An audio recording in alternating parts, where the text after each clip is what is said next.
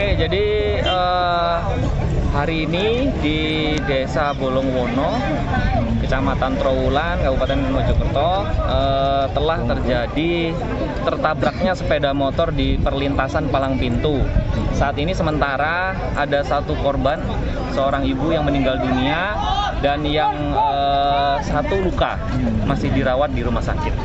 Tentunya nanti untuk perkembangan eh, kejadiannya seperti apa dan saat ini juga unit dari Laka juga melaksanakan olah TKP di tempat kejadian perkara.